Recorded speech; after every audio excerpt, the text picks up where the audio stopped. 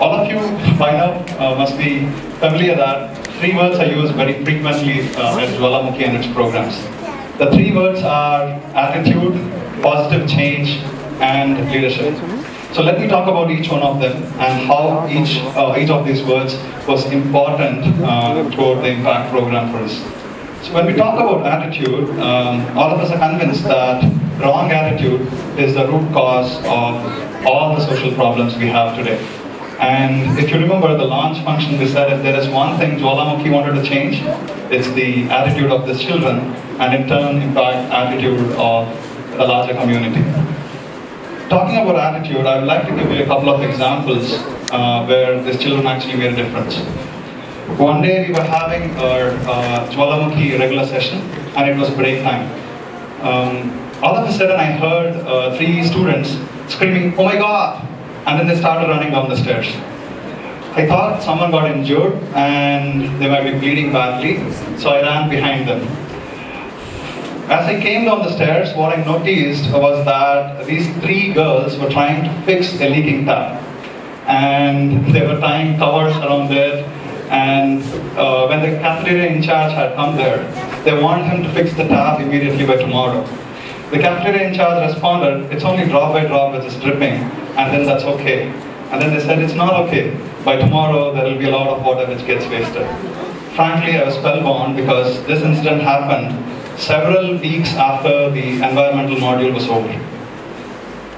Uh, if, if this is not enough, let me give you another example. Sometime back, you heard Monica coming in front of you and saying that she was not at all comfortable going and talking to strangers. When we received the feedback forms from the parents, uh, Monica's parents wrote to us saying that whenever Monica sees someone um, switching on their engine uh, at a traffic signal, she doesn't hesitate anymore. She goes to them and tells them, please put off your engine.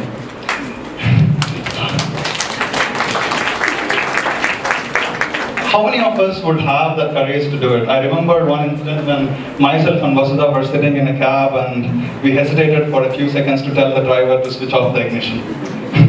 That- that's- but then we did, uh, we did ask him to switch it off a little later. But I was, I was really happy when I heard that Monica does it without any iota of hesitation.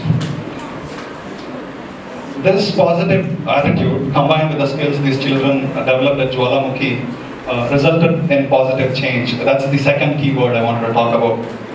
When we heard Surabhi, uh, when, when, we, when Surabhi saved 3,752 minutes of pollution and traffic signals, when Akshay rescued a child and sent him to school, when Kirtan called up the Karnataka Electricity Board to cut electricity wastage, we know, we knew that we were making a difference and positive change was happening. And that was very, very satisfying. This positive change uh, would not have actually translated um, into a sustainable program without the third keyword, uh, leadership. If attitude ignited the action and positive change was the result, leadership was the means through which it was achieved. These children could have done their assignments, their projects, uh, when they, it was assigned to them, and could have forgotten them easily immediately after it was over. They could have said, we're done with that and gone back to their normal lives. But these children are not like that. They follow all those things even till date. It has become a part and parcel of their life. And that's a big thing. Whenever they see something going wrong, they jump into action. They don't lie back like uh, the rest of the crowd, like most of us. And these children have actually inspired more people in their age group, in their schools and, and in their communities to do the same. So what we feel is that this positive attitude, when combined with leadership, uh, becomes a brilliant combination. And when you have this combination, positive change is inevitable. So we have been talking a lot, saying that uh, till now, saying what are the different things which have been happening, what the children's did, what has been achieved. But mind you, today is the graduation ceremony for the Impact program. So there might be a question popping up in all your heads, like what next? Um, I'd like to say we have started to make a difference, and we, we don't like to stop right now, right? This is this is not uh, the end. This is just the beginning. So what do we plan to do next? The answer is simple. Uh, we want to take all these things to a, a next level.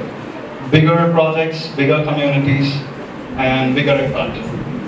How do we do that? Uh, a for that has actually come uh, in the skit you just watched.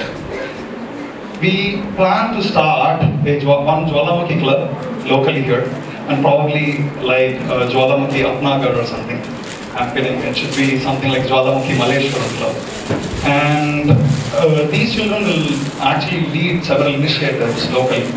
So the new definition of leadership becomes local leadership. Whenever there are issues in your community, it's our responsibility to go ahead and solve them. So um, will facilitate all the club activities.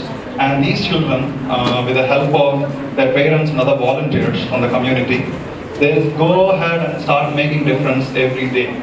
So uh, the difference they started making doesn't end at the impact program, but it continues into their lives, can, uh, expands into the big larger community.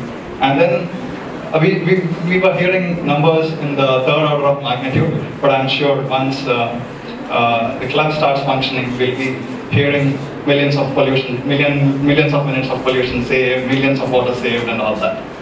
So how we do that, uh, I'll, we'll get into the nitty-gritties of how the club will be functioning, what it will be, what will be its structure and all that uh, in a separate meeting in January. Uh, so uh, for the time being, I just wanted to announce that we'll have a club which will function most probably out of Malleswaram. And we would require volunteers for uh, the active functioning of the club. So towards the uh, end of the session, volunteer forms will be um, distributed to you. And if any of you are interested in actually working with the club, you can kind of sign on these forms and let us know and we'll get back to you. So uh, that's all I had for uh, today. And uh, you'll, you'll know more about the club and its functioning. So